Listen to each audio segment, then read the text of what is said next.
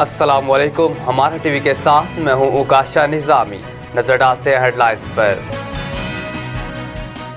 मुल्क में कौमी और सूबाई असम्बलियों के एक साथ इंतबात और चार अप्रैल के फैसले पर अमल दरामद केस की समात में चीफ जस्टिस ने रिमार्क्स दिए कि अदालत मुजाकर पर मजबूर नहीं कर सकती। सिर्फ़ आइन पर अमल चाहती है, कोई हिदायत जारी कर रही है, ना कोई टाइम लाइन अदालत मुनासिब हुक्मनामा जारी करेगी। बर मेहरबानी आइन के लिए एक दूसरे के साथ बैठें।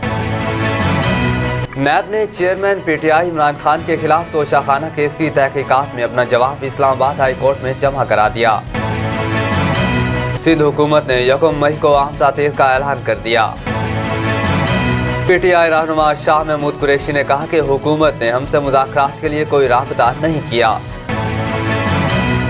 कराची में बैरून मुल्क से मुनकी पॉक्स के तीन मुशतबा केसेस सामने आए हैं। चेयरमैन सेनेट सादिक संजरावी ने सियासी मुजाकर का आगाज़ करने के लिए खसूसी कमेटी की तश्कील के लिए हुकूमत और अपोजिशन से नाम तलब कर लिए।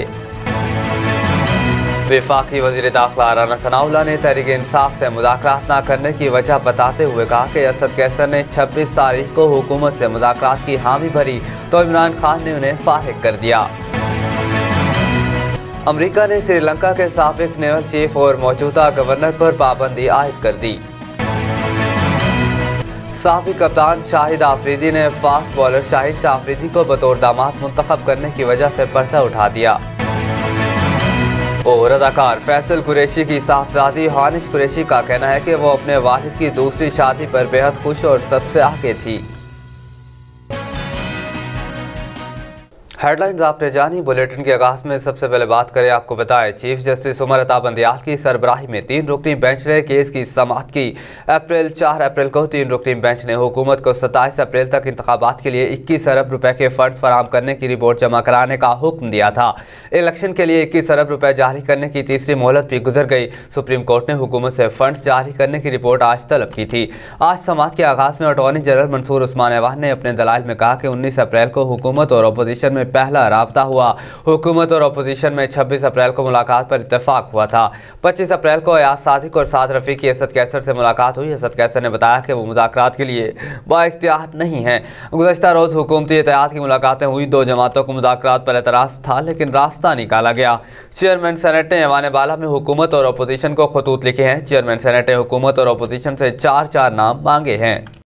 अब आपको बताएँ, नैब ने इंक्वायरी के खिलाफ इमरान खान की दरख्वास्त खारिज करने की इस्तः करते हुए कहा कि इमरान खान केस किसी रिलीफ के मुस्तक नहीं है।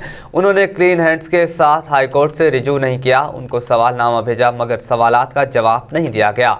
नैब ने अपने जवाब में कहा कि इमरान खान तलबी के नोटिस पर नैब के सामने पेश नहीं हुए। इनको कानून के मुताबिक ही नोटिस भेजा गया सवाल भी पूछे, लेकिन इमरान खान ने जो जवाब भेजा, उसे जवाब नहीं कहा जा सकता। वो जानबूझकर मामले को अल्तवा में डालना चाहते हैं। नैब ने कहा कि इमरान खान और उनकी अहलिया ने अट्ठावन तहाइफ रखे। उन्होंने और उनकी अहलिया ने चौदह करोड़ से जायद के तहाइफ, तीन करोड़ अस्सी लाख में रख लिए हैं। उन्होंने मालूम देने के बजाय टाल मटोल वाला जवाब भेजा। लिहाजा इमरान खान के खिलाफ कानून के मुताबिक कार्रवाई की जाएगी। आगे बढ़े आपको बताएँ, सूबाई हुकूमत ने इस हवाले से नोटिफिकेशन जारी कर दिया है, जिसके मुताबिक यकम मई बरोस पीर आम तातील होंगी। योम मजदूर के मौका पर मुल्क के मुख्तलिफ़ शहरों में तकरीबा का इनका भी किया जाएगा। बुलेटिन में मजीद खबरें शामिल करें। आपको बताएँ, सुप्रीम कोर्ट में मुल्क भर में इलेक्शन एक साथ कराने के केस की समात के दौरान शाह महमूद कुरैशी ने रोस्टरों पर आकर कहा कि हुकूमत के इसरार पर अदालत ने सियासी इतफाक़ राय के लिए मौका दिया था। तमाम जमातों की सियासी क्यादत अदालत में पेश हुई थी। उन्होंने कहा कि सुप्रीम कोर्ट का चौदह मई का फैसला हतमी है। अदालत हुक्म को पी टी आई ने संजीदगी से लिया, लेकिन पी डी एम में आज भी मुजाकर पर इतफाक़ राय नहीं है। हुकूमत आइन ने इनहराफ करना चाह रही है। हुकूमत ने कहा था वो मुशावरत के बाद तजवीज़ तजवीज़ देंगे लेकिन यहाँ कोई तजवीज़ नहीं आई। निजी टीवी से गुफ्तु करते हुए डायरेक्टर महकमा bot health service doctor Ghulam Murtaza Shah ने कहा कि बैरून मुल्क से कराची आने वाले अब तक मनकी पॉक्स के तीन मुशतबा मुसाफिर सामने आए हैं। तीनों मुसाफरों में दौरान स्क्रीनिंग मनकी पॉक्स की अलामत पाई गई हैं। उन्होंने कहा कि मुसाफरों की मजीद जाँच पड़ताल आइसोलेशन सेंटर्स में जारी है और तस्दीक होने पर मुसाफरों को एक से दो हफ़्ते तक आइसोलेशन सेंटर में रखा जाएगा।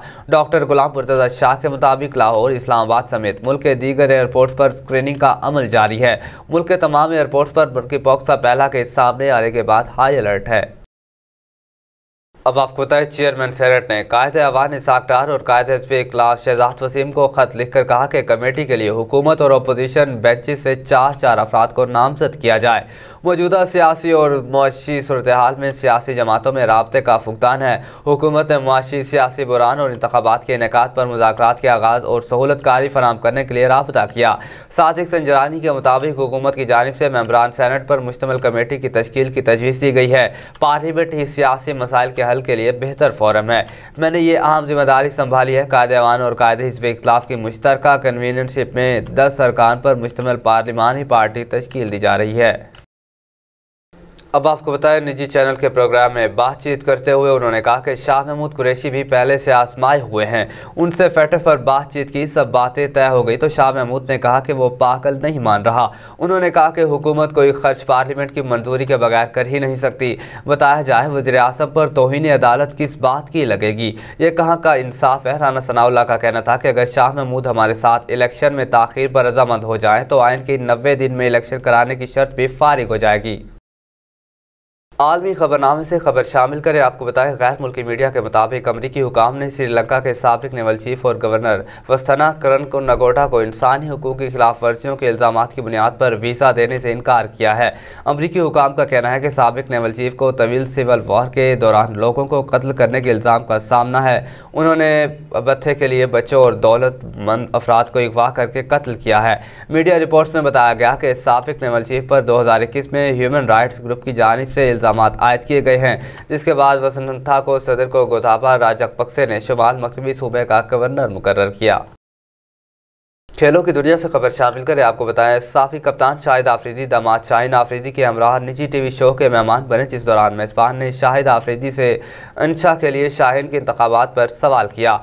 इस पर गुफ्तु करते हुए शाहिद शाहिद आफरीदी का कहना था कि मेरे ख़ानदान के बुज़ुर्ग और शाहिद शाहीन की फैमिली के बुज़ुर्ग कई अरसे से एक दूसरे को जानते थे। हमारी फैमिली एक दूसरे को नहीं जानती थी, लेकिन हमारे बुज़ुर्ग एक दूसरे से आगाह थे। उन्होंने कहा कि शाहीन के वालिद और वालदा मुझे अब अपने वालदेन जैसे ही लगते हैं, लेकिन रिश्ते से कबल दोनों ख़ानदान के दरमियान गैप आ गया था। इसके बाद जब शाहिद ने पाकिस्तान यूनाइटेड खेल के लिए खेलना शुरू किया, फिर बैरिट के भाई रियाज को भी जानता था। मजबूरी तौर पर भी शाहिद की क्रिकेट में कारकर्दगी और फिर फैमिली ने भी मुझे बहुत मुतासर किया। शोबिस की दुनिया से खबर शामिल करें। आपको बताएँ एक यूट्यूब इंटरव्यू के दौरान मेज़बान ने हॉनिश कुरैशी से उनके वालिद की दूसरी शादी और ऐसी सूरत हाल से गुजरने वाले बच्चों को कोई मशवरा देने से मुतलिक सवाल किया।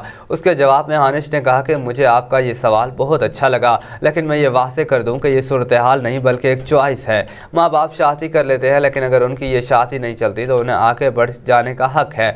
बतौर औलाद, आप इन्हें अपनी वजह से पाबंद नहीं कर सकते। हानिश ने वालिद फैसल कुरैशी की दूसरी शादी पर बात करते हुए कहा कि मैं अपने वालिद की दूसरी शादी पर सबसे आके थी और बहुत खुश भी थी। मैं उनकी ग्रोम फ्रेंड्स बनी हुई थी। मेरे वालिद की बहुत छोटी उम्र में शादी हो गई थी, लेकिन शादी के लिए मर्द और औरत दोनों को फैसला लेने का हक है। सोशल मीडिया इन्फ्लुएंसर ने कहा कि, मजीद कहा कि, आज भी मेरे वालिद से मेरे बहुत अच्छे ताल्लुक हैं। मैं अपने दोनों बहन भाइयों को देखकर बहुत खुशी महसूस करती हूँ। मुझे इन दोनों में अपना अक्स नज़र आता है, क्योंकि उनसे मेरा खून का रिश्ता है।